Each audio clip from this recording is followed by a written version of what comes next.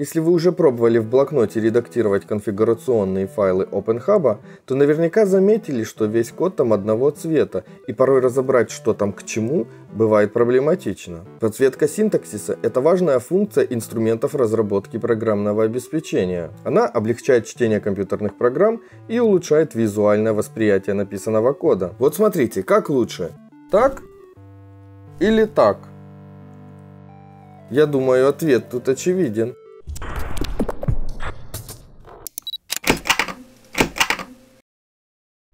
Сейчас я вам покажу, как добавить подобную фишку в популярный текстовый редактор Notepad++. Для этого перейдем к компьютеру и откроем в браузере вот такую ссылку. Ищите ее в описании под видео.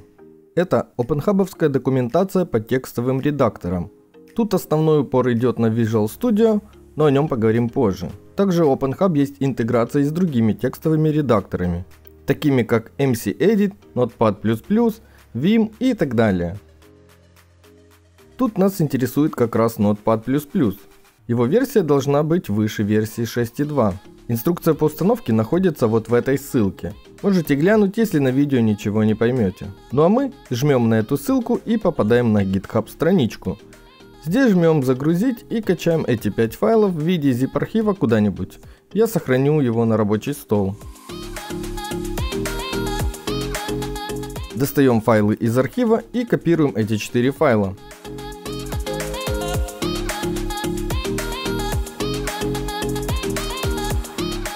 Теперь открываем Notepad++. Как видите, это файл item, и весь текст тут монотонно черный. Идем во вкладку синтаксисы, а там жмем открыть папку синтаксисов. В только что открывшуюся папку вставляем недавно скопированные 4 файла. Должно получиться вот как-то так. Все открытые папки можно закрывать. И теперь нужно перезагрузить Notepad++, закрыв и открыв его. Если у вас, как и у меня сейчас, ничего не поменяется, не расстраивайтесь раньше времени. Просто еще нужно позакрывать все открытые вкладки и открыть файлы заново. Тогда уже сработают новые правила выделения синтаксиса. Я снова открою этот же файл. Ну вот. Давайте еще файл с правилами откроем. И файл sitemap.